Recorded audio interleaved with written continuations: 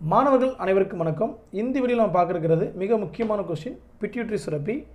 So pituitary கிளாண்டை பற்றி ஒரு 15 மார்க் கொஸ்டின் வந்து எப்படி எழுதுறது அப்படின்றத இப்போ நம்ம ஸ்கூல் புக்கில் இருக்கிறதே நான் சொல்லக்கூடிய பாயிண்ட்ஸில் மட்டும் கொஞ்சம் பார்த்தாலே உங்களுக்கு போதுமானது. முத பிட்யூட்ரி கிளாண்டுடைய ஸ்ட்ரக்சர் எப்படி இருக்கும் அப்படின்னு பார்த்தீங்கன்னா ஒரு பி சேப் பட்டாணி வடிவத்தில் இருக்கக்கூடிய ஒரு சுரப்பி. இதில் நல்லா கவனித்து பார்த்தீங்க அப்படின்னா இந்த பிட்யூட்ரி சுரப்பியில் மூன்று விதமான பிரிவுகள் இருக்குது அதாவது மூன்று விதமான பிரிவுகள் பிட்யூட்ரி சுரப்பியில் இருக்குது இது என்ன சொல்லுவாங்க அப்படின்னா ஒன்று முன்புற கதுப்பு அப்படின்னு ஒன்று இருக்குது என்ன இருக்குது முன்புற கதுப்பு. இங்கே இருக்கும் பார்த்துங்க இப்போ என் வாயிலேருந்து வரக்கூடிய வார்த்தைகள் மட்டும் நீங்கள் எழுதினாலே போதுமானது. இல்லை நான் புக்கில் சேர்த்து படிச்சுக்கிறேன்னா அதை உங்களுக்கு டிஸ்ப்ளே பண்ணியிருக்கேன் பார்த்துங்க முன்புற கதுப்பு. இது என்ன சொல்லுவாங்கன்னா ஆங்கிலத்தில் ஆன்டீரியர் லோப் அப்படின்வாங்க ஆன்டீரியர் லோப் முன்புற கதப்பு. இதே மாதிரி பின்புற கதப்பு ஒன்று இருக்குது போஸ்டீரியர் லோப் அப்படின்னு ஒன்று இருக்குது இது பின்புற கதப்பு. நடுப்புற கதப்புன்னு ஒன்று இருக்குது மிடில் இருக்கக்கூடிய ஒரு லோப் இருக்குது அது எ யாருக்கு இல்லைன்னா மனிதர்களுக்கு கிடையாது. மற்ற விலங்கினங்களில் உண்டு ஹியூமனில் கிடையாது. அப்போ பெட்யூட்ரி கிளாண்ட்னா என்ன அப்படின்னு சொல்லியாச்சு. அது எந்த வடிவத்தில் இருக்குது இதில் மூன்று பிரிவுகள் இருக்குது முன்புற கதப்பு நடுப்புற கதப்பு பின்புற கதப்பு. இதில் முன்புற கதுப்பு பின்புற கதப்பு மட்டும்தான் மனுஷனுக்கு இருக்கும். நடுப்புற கதப்பு மனுஷனுக்கு இருக்காது. ஸோ இந்த பாயிண்ட் அப்படி நான் அந்த சயின்ஸ் கொஸ்டினை ஒரு கதை மாதிரி நடத்துகிறேன் இதை வச்சு ஈஸியாக எழுதிருங்க ரைட்டுங்களா ஓகே இப்போ நம்முடைய இந்த பிட்யூட்ரிக்கு ஒரு பேர் இருக்குது என்ன பேர் அப்படின்னு பார்த்தீங்கன்னா தலைமை சுரப்பி அப்படின்னு ஒரு பேர் இருக்குது என்னங்க பேர்? தலைமை சுரப்பி. மாஸ்டர் கிளாண்ட் அப்படின்வாங்க ஆங்கிலத்தில் மாஸ்டர் கிளாண்ட் ஏன்னா இந்த கிளாண்டு தான் மற்ற கிளாண்டை என்னென்னா கண்ட்ரோல் பண்ணும் சூப்பர்வைசிங் பண்ணும். மற்ற எல்லா சுரப்பிகளையும் ஒழுங்குபடுத்தினாலும் இதுக்கு பேரே மாஸ்டர் கிளாண்ட் கேட்பாங்க. பிட்யூட்டு சுரப்பி ஏன் தலைமை சுரப்பி என அழைக்கப்படுகிறது அப்படின்னாலே போதும். ஸோ இந்த பாயிண்ட்ஸில் நீங்கள் எழுதலாம். ஓகே இப்போ அடுத்து இப்போ வந்துடுங்க மொத்தம் மூணு கதுப்பு இருக்குது பார்த்தீங்களா? அதில் முன் கதுப்புக்கு வந்துடுவோம் ஆன்டீரியர் லோபில் அந்த ஆன்டீரியர் லோபுக்கு ஒரு பேர் இருக்குது என்ன பேர்னா அடினோ ஹைபோபைசிஸ் என்ன பேர்? அடினோ ஹைபோ பைசிஸ் நோட் பண்ணிக்கிங்க. ஸ்பெல்லிங்கை பாருங்கள் அடினோ ஹைபோ பைசிஸ் ஓகே இதில் இந்த முன்புற கதுப்பில் எத்தனை ஹார்மோன்கள் சுரக்குது அப்படின்னு பார்த்தீங்கன்னா நான் சொல்லக்கூடிய பாயிண்ட்ஸ் மட்டும் எதுனா போதும். புக்கில் எல்லா பாயிண்ட் வேண்டிய அவசியம் இல்லை. இந்த முன்புற கதுப்பில் ஆன்டீரியர் லோபில் கரெக்டாக அஞ்சு ஹார்மோன்ஸ் இருக்குது என்னென்ன ஹார்மோன்னா ஒன்று வளர்ச்சி ஹார்மோன் க்ரௌத் ஹார்மோன் அப்படின்வாங்க என்ன சொல்லுவாங்க? க்ரௌத் ஹார்மோன் இன்னொன்று டிஎஸ்ஹெச் தைராய்டு ஸ்டிமுலேட்டட் ஹார்மோன் இது ரெண்டாவது இது. மூணாவது இது ACTH adrenal corticotrophic hormone adrenal corticotrophic hormone தமிழில் அட்ரீனோ கார்டிகோட்ரோஃபிக் ஹார்மோன் அல்லது அட்ரீனல் புறணியை தூண்டும் ஹார்மோன் அப்படின்வாங்க அடுத்தது ஜிடிஹெச் கொனட்டோட்ரோஃபிக் ஹார்மோன் அப்படின்வாங்க ஜிடிஹெச்னா கொனட்டோட்ரோஃபிக் ஹார்மோன் அடுத்து பிஆர்எல் அப்படின்னா என்னென்னா ப்ரோலாக்டின் ஹார்மோன் இந்த மாதிரி ஐந்து ஹார்மோனை எது சுரக்கும் அப்படின்னா பிட்யூட்ரியுடைய முன்கதுப்பு சுரக்கும். பிட்யூட்ரியுடைய முன்கதுப்பு சுரக்கும். இதில் ஒவ்வொன்றா பார்க்கலாம் கவனிங்க. இந்த பிட்யூட்ரியுடைய முன்கதுப்பு மட்டும் கேட்டாலே பதினஞ்சு மார்க் கொஸ்டின் தான். இல்லை சேர்த்து மொத்தமாக ஒரே கேள்வியாக பிட்யூட்ரி சிறப்பி விளக்குக அப்படின்னாங்கன்னா அதில் ரெண்டு அதில் ரெண்டு அதில் ரெண்டு பாயிண்ட்ஸாக சேர்த்து அந்த கொஷினை ஃபில் பண்ணிடுங்க இந்த வளர்ச்சி ஹார்மோன் இந்த ஹார்மோன் இல்லை அப்படின்னா மனிதனுடைய வளர்ச்சி தடைப்படும் இதனால் எந்த மாதிரி பிரச்சனைகள் வரும் அப்படின்னு பார்த்தீங்கன்னா டுவார்ஃபிசம் குள்ளத்தன்மை வரும். குள்ளத்தன்மை வந்து என்னென்ன சிம்டம்ஸ் இருக்கும் அப்படின்னு பார்த்தீங்கன்னா எலும்புகளுடைய வளர்ச்சியில் தாமதம் இருக்கும். மன வளர்ச்சி டிசார்டர் இருக்கும். மன வளர்ச்சி குன்றி இருப்பாங்க. இன்னொன்று என்னென்னு பார்த்தீங்கன்னா எலும்புகள் வளர்ச்சிகள் கம்மியாகும். இது குள்ளத்தன்மை டுவார்ஃபிசம் இன்னொன்று அசுரத்தன்மை இது பார்த்தீங்கன்னா குழந்தையின் வளர்ச்சி ஹார்மோன் அதிகமாக சுரந்துடும் க்ரோத் ஹார்மோனுடைய வளர்ச்சி ரொம்ப அதிகமாக சுரந்துருச்சு அப்படின்னா அதுக்கு பேர் என்னென்னு பார்த்தீங்கன்னா அசுரத்தன்மை அப்படின்வாங்க ஜைஜாண்டிசம் அப்படின்வாங்க ஜைஜாண்டிசம்.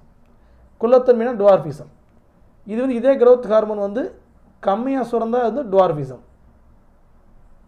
ஸோ சிம்டம்ஸ்லாம் பார்த்து வச்சுங்க. ரைட்டுங்களா ஓகேப்பா அடுத்தது அக்ரோமெகலி. இது எப்படின்னா பெரியவர்களுக்கு தான் வரும். அதிகப்படியான வளர்ச்சி ஹார்மோன் க்ரோத் ஹார்மோன்லேயே ரொம்ப அதிகமாக செக்ரெட் ஆகிடுச்சுன்னா அந்த பெரியவங்களுக்கு வரக்கூடிய நோய். எப்படி வரும் அப்படின்னு பார்த்தீங்கன்னா அவங்களுக்கு அது வந்துச்சு அப்படின்னா முகம் தலை கை கால்கள். இது எல்லாமே அதிகமான வளர்ச்சியில் இருக்கும். எல்லாமே அப்படின்னா ஏதோ ஒன்று ரெண்டு கூட கம்மியாக இருக்கலாம். ஸோ அவங்களுடைய ஹெட்டு பெருசாக இருக்கும் அல்லது ஹேண்டு பெருசாக இருக்கும் அல்லது கால் பெருசாக இருக்கும். இதுக்கு பேர் என்ன சொல்லுவாங்கன்னா அக்ரோ மெகாலி அப்படின்வாங்க என்ன பேர்? அக்ரோ மெகாலி. இங்கிலீஷ் மீடியம் கவலைப்படாதீங்க. கீழே பிடிஎஃப் கொடுத்துருக்கேன்ப்பா. அக்ரோ மெகாலிக்கு அக்ரோ மெகாலி மட்டும் இல்லை. ஸோ இது ஃபுல்லாமே என்ன பண்ணியிருக்கேன் அப்படின்னு பார்த்தீங்கன்னா உங்களுக்கு கொடுத்துருக்கேன். அக்ரோ மெகாலி ஸ்பெல்லிங் பார்த்துங்க.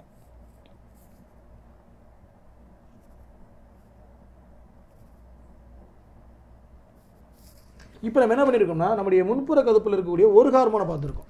இதே மாதிரி அடுத்த ஹார்மோன் சும்மா ஹார்மோன் என்னது அந்த வேலை என்ன அந்த மாதிரி எழுதினாலே போதும். அடுத்து டிஎஸ்ஹெச் தைராய்டை ஸ்டிமுலேட்டட் ஹார்மோன் இந்த தைராய்டு தூண்டு ஹார்மோன் என்ன பண்ணுது அப்படின்னு பார்த்தீங்கன்னா நல்லா கவனிங்க. ரெண்டே வேலை தான். தைராய்டு சுரப்பின் வளர்ச்சியை கட்டுப்படுத்தும். தைராய்டு கிளண்டுடைய க்ரோத்தை கட் கண்ட்ரோல் பண்ணும். இன்னொன்று ஹார்மோன் சுரத்தலை ஒருங்கிணைக்கும். It integrates the hormone secretion so இந்த ரெண்டு வேலை மட்டும் தான் இந்த டிஎஸ்ஹெச் பார்க்கும்.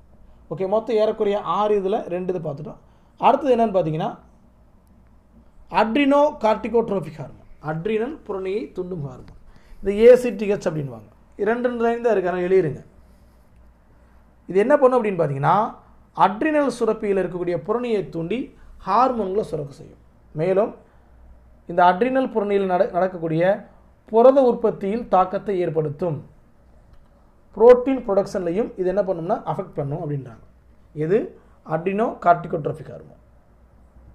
அடுத்தது gonadotropic hormone GTH gonadotropic hormone அப்படின்னா பாலிக்கல் செல்களை தூண்டும் ஹார்மோன் மற்றும் லூட்டினேசிங் ஹார்மோன்ஸ். ஆகிய இரு கொனோட்டோட்ரோபிக் ஹார்மோன்களும் இயல்பான இனப்பெருக்க உறுப்பு வளர்ச்சி காரணமாகுது.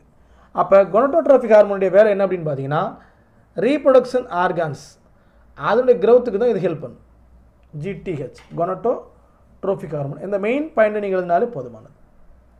புரியுதுங்களா? இதில் என்னென்ன ஹார்மோன் இருக்குது ரெண்டு ஹார்மோன் இருக்குது ஒன்று பாலிக்கல் செல்களை தூண்டும் ஹார்மோன் மற்றும் லூட்டினிசிங் ஹார்மோன் இந்த ரெண்டு தான் பார்த்தீங்கன்னா கொனோட்டோட்ரோபிக் ஹார்மோன்கள் இது எதுக்கு யூஸ் ஆகுதுன்னு பார்த்தீங்கன்னா ரீப்ரொடக்ஷன் ஆர்கனுடைய க்ரௌத்துக்காக யூஸ் ஆகுது. ஓகேங்களா அடுத்தது ஃபாலிக்கிள் பாலிக்கல்களை தூண்டும் ஹார்மோன் எஃப்எஸ்ஹெச் அதாவது நம்ம கோனட்ஸை வந்து ஸ்டிமுலேட் பண்ணணும்னு பார்த்துட்டோம்.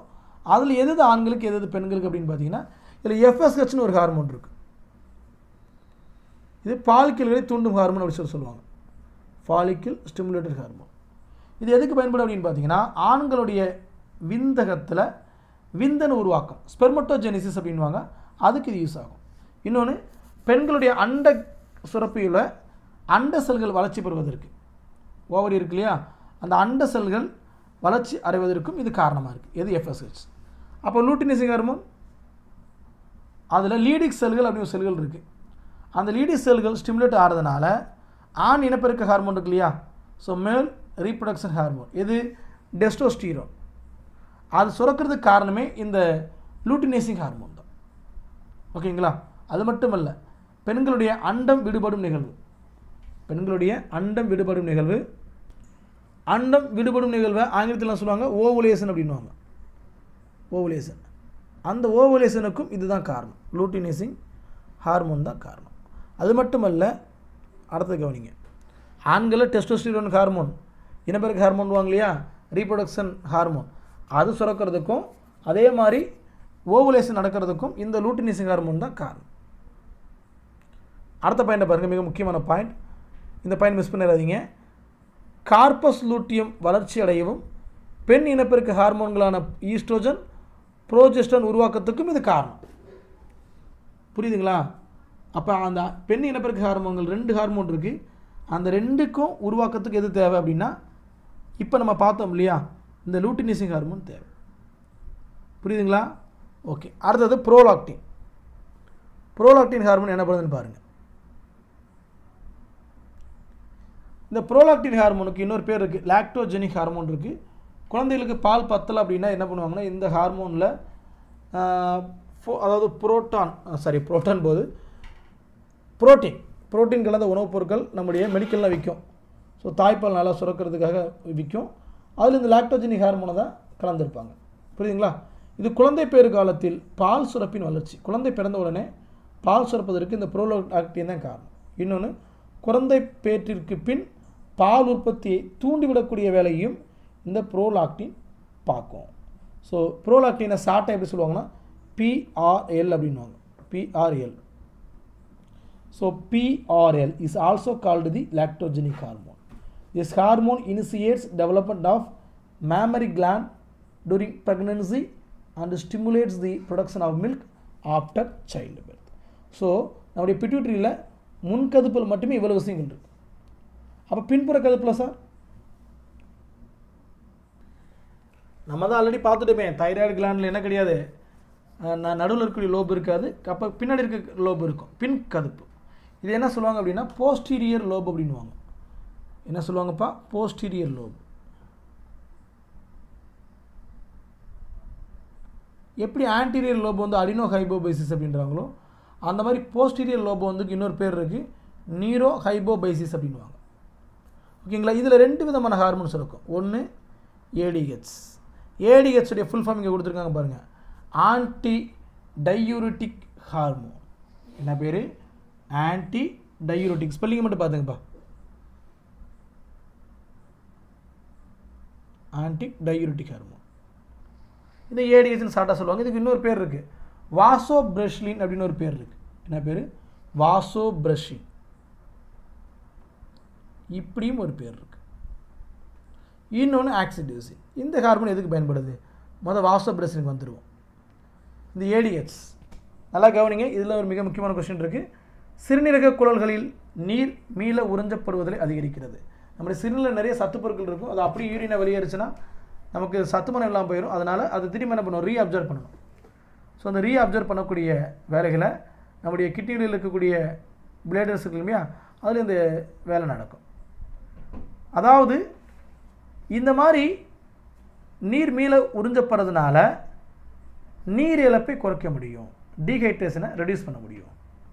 இதுக்கு காரணமான அந்த ஹார்மோனுக்கு என்ன பேருன்னு பார்த்தீங்கன்னா ஆன்டி டையூரிட்டிக் ஹார்மோன் ஸோ அதாவது இதுக்கு ஒரு பேர் இன்னொரு பேரே இருக்குது சிறுநீர் பெருக் எதிர் ஹார்மோன்னு பேர் இருக்குது இந்த பாயிண்டை என்ன நோட் பண்ணிங்களா? விட்டுருங்க. அதாவது இந்த ஆன்டி டையூரிட்டிக் ஹார்மோன் அப்படின்றதுக்கு என்ன பேர்னா தமிழில் சிறுநீர் பெருக்கெதிர் ஹார்மோன் புரியுதுங்களா? ஓகே அதாவது இந்த ஏடிஹெச் குறைவாக சுரப்பதனால தான் நீர் மீள உறிஞ்சப்படுவது கம்மியாயிரும். நீர் மேலே உறிஞ்சப்படுவது கம்மியாயிருச்சுன்னா அதிகப்படியான யூரின் வெளியேறும். இதுக்கு பேர் பாலி யூரியா. அதிகமான அதிகம் அப்படின்னாலே பாலி யூரியான சிறுநீர். இந்த மாதிரி அதிகமான சிறுநீர் வெளியே போச்சுன்னா அதுக்கு பேர் தான் டயபெட்டிஸ் இன்சிபிடஸ் ஸோ இதை பற்றி நம்ம ஆல்ரெடி சில கொஷின்ஸ் பார்த்துட்டோம். ஸோ இதுக்கு பேர் தான் டயபெட்டிஸ் இன்சிபிடஸ் அப்போ ஏடிஹெச் கம்மியாக சுரந்துச்சு அப்படின்னா வரக்கூடிய நோய் diabetes insipidus so diabetes mellitus என்பது இன்சுலினோடு தொடர்பு கொண்டது. டயபெட்டிஸ் இன்சிபிடஸ் என்பது ஏடிஹெச் அப்படின்ற ஆன்டி டைரோடிக் ஹார்மோனோட தொடர்புடையது. இதை ரெண்டையும் நல்லா மைண்டில் வச்சுக்க தப்பாக எழுதிடாதீங்க. சரிங்களா?